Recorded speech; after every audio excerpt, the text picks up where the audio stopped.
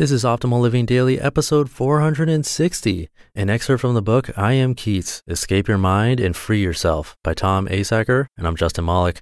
This is the podcast where I act as a personal narrator for you for free, usually from blogs covering personal development and minimalism from popular authors like Mark and Angel, The Minimalists, Leo Babauta of Zen Habits, James Clear, and more. But sometimes I bring books to you also, and that's the case today. But really quick, I want to mention another podcast that I'd recommend because there's an episode I think you'd like. That's episode 640 of the Creating Wealth Show with Jason Hartman. I'll tell you why at the end of the episode. For now, just remember to subscribe to the Creating Wealth Show, and you can get more info at oldpodcast.com slash wealth. But back to today's special episode, I'm going to read a little bit of the intro from this book, I Am Keats, because I really like it, and then some of the first chapters. So I'm skipping around a little, but it should be pretty clear. Again, that book is I Am Keats by Tom Asacker. I'll give you some more info about him right after the reading, and make sure you listen all the way through to the end because I will be giving away this copy of the book too. But for now, let's get right to the excerpt as we optimize your life. An excerpt from the book I Am Keats Escape Your Mind and Free Yourself by Tom Asacker. Introduction Quote, We are all living in cages with the door wide open. George Lucas. Lock and Key. Budapest born Eric Weiss was one of seven children. He arrived in the United States in his mother's arms in 1878. 22 years later, Harry Handcuff Houdini was baffling police in Scotland Yard. He had let go of what he was and became the world's most famous escape artist. Houdini boasted he could break out of any jail cell in the world in less than one hour, and every time he was tested, he would escape in just a few short minutes. But one time, things didn't go as Houdini had planned. As the story goes, a small town in the British Isles built a new lockup, and they haughtily invited Houdini to come give their showpiece a try. As usual, Houdini accepted the challenge without hesitation. He arrived and strolled into the cell pregnant with confidence, and once the door was closed and he was left alone, Houdini went to work.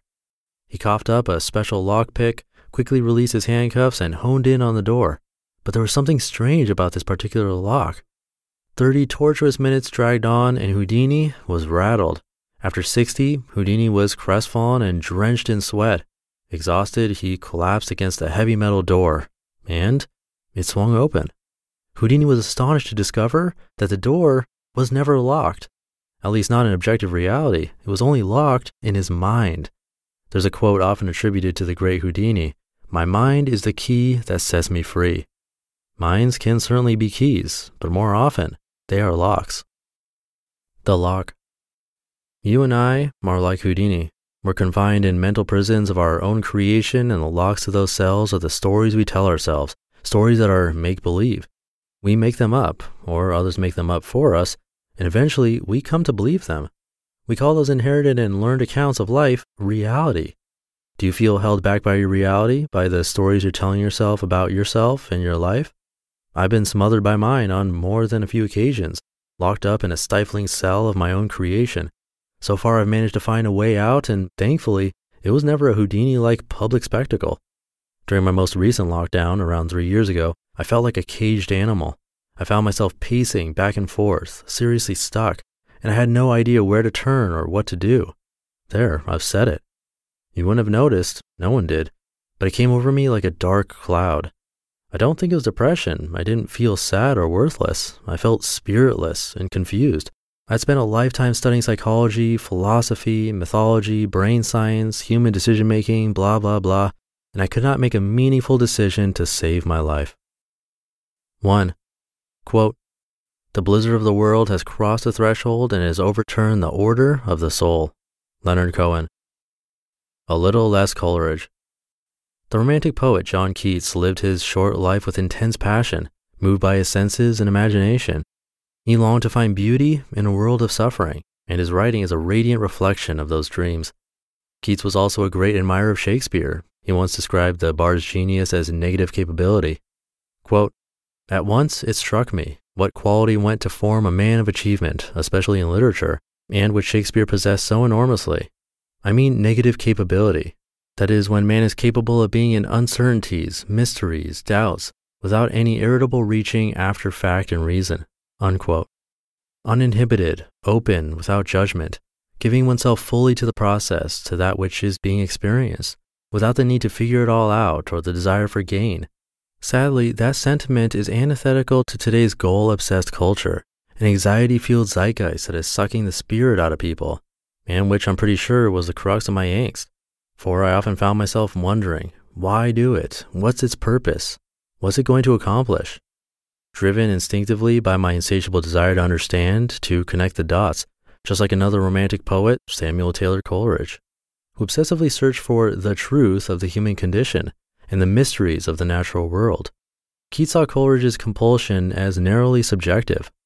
Keats believed that the inspirational power of beauty was more important than the quest for meaning. It has taken me quite a while to wake up to it, assuming I actually have, but Keats was right. In our dogged pursuit of knowledge and goals, we have forgotten to live, to subdue self concern and identify with others, to open up fully to here and now experiences, and to embrace our empathetic impulses and imaginative creativity. So I'm going to try to stop connecting all the dots. It's really hard. Stop trying to predict an unknowable future, even harder. And instead, be a connected and passionate part of the present. For as Goethe made clear, what is important in life is life and not the result of life. Here's to life. A little less Coleridge, a lot more Keats. You just listened to an excerpt from the book I Am Keats Escape Your Mind and Free Yourself by Tom Asacker. I hope you enjoyed that. I did.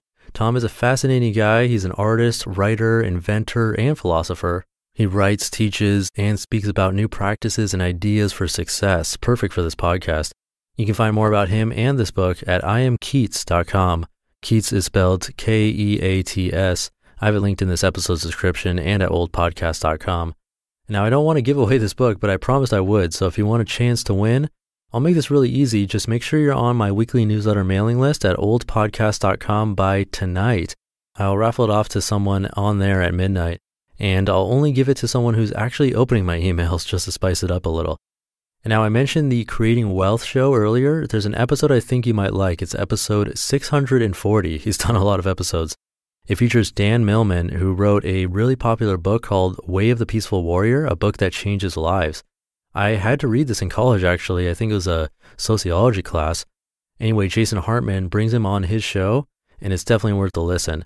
They talk about the four purposes of life, the difference between your career and a calling, discovering your life's path, and a lot more.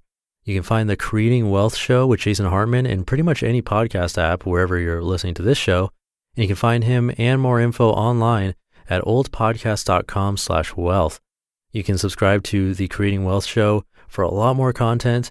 And again, check out episode 640 to hear the author of a book that I really enjoyed in college. Again, that's the Creating Wealth Show with Jason Hartman. I think that covers everything for today. Don't forget to join the weekly newsletter by tonight if you want a chance to win I Am Keats. That's at oldpodcast.com. And I'll catch you tomorrow where your optimal life awaits.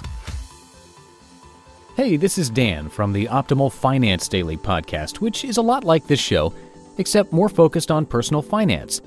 Justin handpicks the best posts he can find from blogs and authors like Ramit Sethi, Mr. Money Mustache, and more, and I read them to you five days a week. So if you enjoy this podcast, come on over and subscribe to Optimal Finance Daily too. And together, we'll optimize your financial life. You've been listening to Optimal Living Daily. Be sure to hit the subscribe button to stay up to date on each new episode and head to oldpodcast.com. That's O L D podcast.com for a free gift as well as more actionable tips and resources to help you maximize your potential. Thanks for joining us, and remember, your optimal life awaits.